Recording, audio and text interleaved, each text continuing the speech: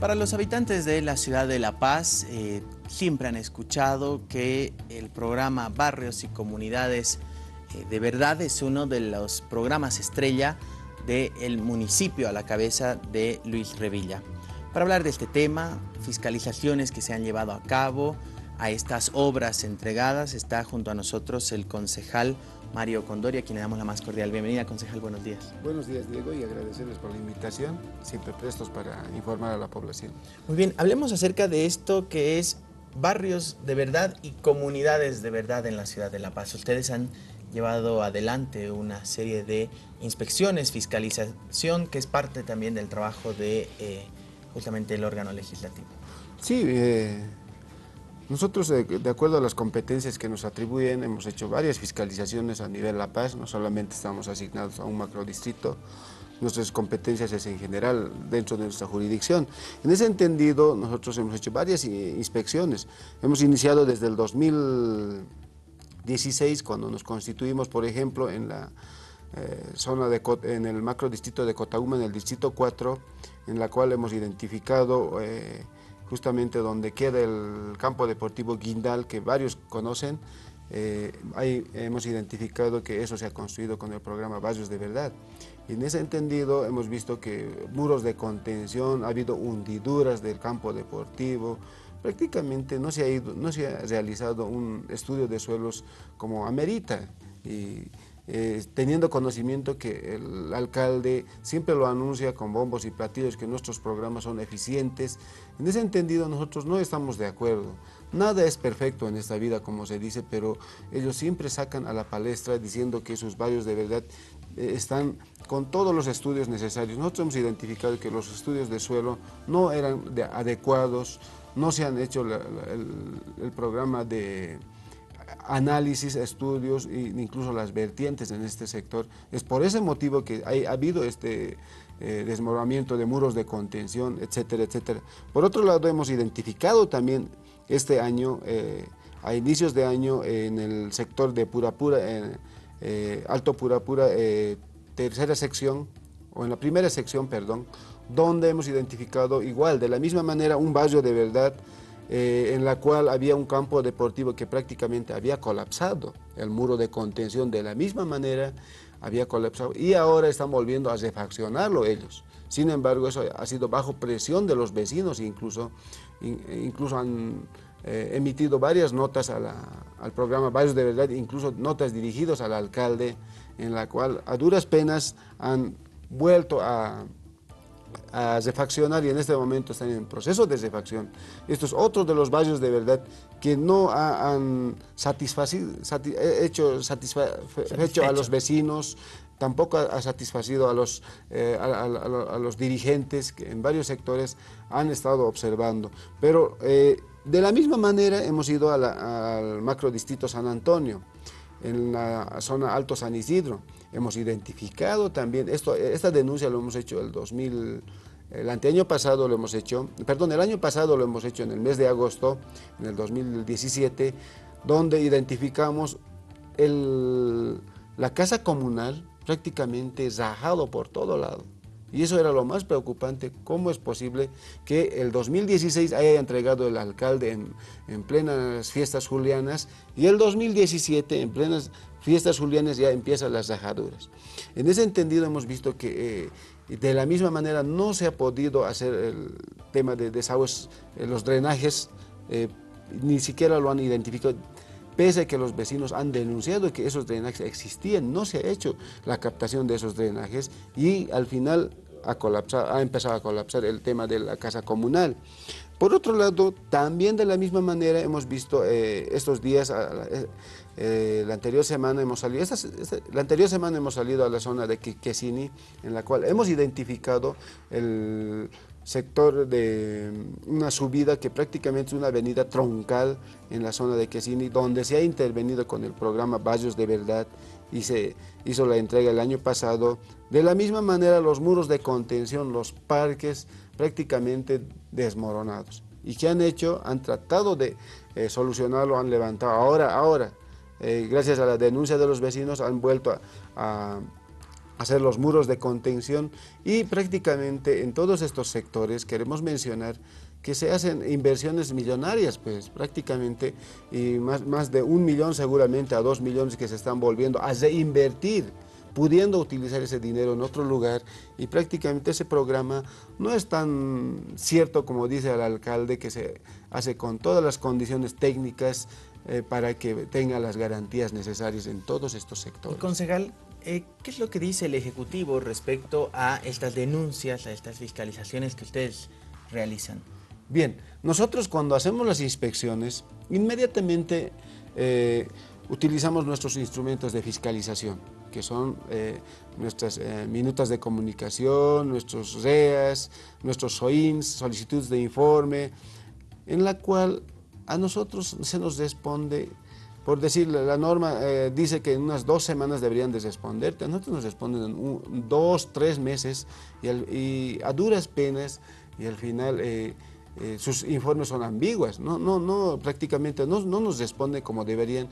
El alcalde prácticamente hace caso omiso, las unidades correspondientes son las que nos, nos responden y nos dicen, incluso se comprometen en, audiencias que nosotros los convocamos, a las sesiones informativas que los convocamos, por ejemplo, a Vallos de Verdad, y nos dicen, este siguiente mes lo vamos a terminar, cuando no lo terminan. Y es la situación preocupante que existe dentro de la ciudad de La Paz. Pero no solo queda ahí, hay una ley del control social que el gobierno central en la anterior gestión ha aprobado, es la ley 341, y ahora el gobierno municipal ha sacado, en base a esa ley nacional, otra ley en la cual, en esta ley eh, municipal, faculta en cada distrito que se elijan los controles sociales. En principio los controles sociales eran cualquier persona común y corriente, un vecino podía hacer control social, pero ahora se ha determinado que en cada distrito existe un control social y esos controles sociales son elegidos por las bases. Pero en estos últimos tiempos se han politizado todo esto. El alcalde con el subalcalde han sabido elegir sus controles sociales para conveniencia eh, o interés personal de ellos. Y estos controles sociales ¿Qué es la facultad que, tendrían que hacer ellos? Es una, facultad de fiscalización. En ningún momento estos controles sociales denuncian estos malos trabajos ejecutados. Nadie. La función de este control social es de denunciar los malos proyectos que están ejecutando el, alcalde del municipio de La Paz y sus entidades correspondientes. Ahora, concejal, eh, ¿qué pasa cuando lo vemos, por ejemplo, eh, lo vemos al alcalde tener audiencias en, diferentes distritos de manera permanente, eh, encuentro con los vecinos, entonces se podría entender que existe un nivel de comunicación fluido entre el Ejecutivo y los vecinos. Hoy, por ejemplo, tiene en el distrito rural de Jampaturi, tiene una audiencia, lo que sería la única comunidad de verdad. Eh, ¿Estaríamos hablando de que realmente estas audiencias que tiene el alcalde no funcionan?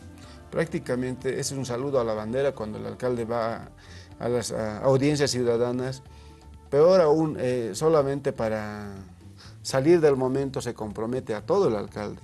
Y llegado el momento prácticamente no cumple con lo, con, lo prometido y tenemos ahí varias denuncias nosotros que el alcalde en diferentes instancias, en diferentes distritos, ha comprometido a hacer varios trabajos, pero al final eh, no se cumple. Entonces, es un saludo a la, bandera lo que el alcalde hace sus audiencias ciudadanas. Por decir, el año pasado hemos tenido una denuncia del Distrito 4 de Cotauma en la cual el alcalde no ha asistido. ¿Por qué? Porque no ha cumplido ninguno de sus compromisos que él había hecho en una anterior gestión. Así pasan varias denuncias eh, en la cual nosotros eh, lo exponemos ante la opinión pública, pero al final eso queda ahí nomás porque no nos olvidemos que en la alcaldía eh, los concejales tienen un, eh, los concejales de Sol.bo tienen una mayoría total y al final cuando queremos hacer aprobar nosotros nuestros reclamos en el pleno, como ser las minutas de comunicación, no nos los aprueban. ¿Por qué? Por un capricho político que ellos tienen y por no hacerle quedar mal al alcalde, porque si alguno de esos instrumentos lo aprueban, es, que estarían en contra de su color político y en contra del alcalde, y eso es lo que ellos no quieren, y al final esto lo tienen que tener ahí nomás. Eh, eh, si los documentos que emitimos lo, seguramente lo votan a algún lugar o, eh, o quién sabe dónde va a parar. Ahora, concejal, entonces, ¿cómo entenderíamos que en abril se hizo una encuesta, un canal colega hizo una encuesta con Ipsos eh, y el alcalde Revilla tiene un 53% de aprobación. Si la gestión está tan mala, ¿cómo podríamos entender que tiene un respaldo importante? Tendríamos que diferenciar desde abril hasta ahora. Yo quisiera que en estos momentos hagan una encuesta al alcalde. ¿Usted lo dice por la cuestión de ya la alianza con el FRI? No solamente es eso. El alcalde ha tenido las metidas de patas abismales. Por ejemplo, uno de los grandes que ha sobresalido, y a todos, y más que todo ha afectado a las personas y vecinos de la zona sur, el, tema de los parqueos en las calles. Bueno, nosotros nos vemos afectados aquí. No solamente ustedes, vayan aquí a la calle 2, los universitarios de la Universidad Católica, que prácticamente ellos vienen, algunos tienen sus movilidades, quién sabe con qué esfuerzo, para no gastar en seguramente pasajes, etc. ¿De dónde vendrán? Exactamente, otros vienen desde el Alto, otros vienen desde Ovejuya, Chasquipampa, o de Irpavi que es lejos. Y prácticamente vienen con su movilidad, lo dejan, hay veces tienen clases todo el día. ¿Cuánto tienen que pagar? Casi 40 bolivianos. Y hay otros padres de familia que vienen a los colegios a dejar sus hijos. Y por cosas de la vida, hay veces se eh, hace una asamblea y se quedan ahí. ¿Y qué, pasa? Que ya no encuentran su movilidad ahora, o que si, no se lo han puesto la grampa. Esas cosas han generado que el alcalde, porque el alcalde eso lo ha aprobado con un decreto, el alcalde con decreto lo ha aprobado, hace que la sociedad, los vecinos, se den cuenta que el único interés del alcalde es de tener ingresos económicos para su campaña política. Y yo quisiera en este momento que hagan una encuesta al alcalde. Te apuesto que la gente no está de acuerdo ya con el alcalde.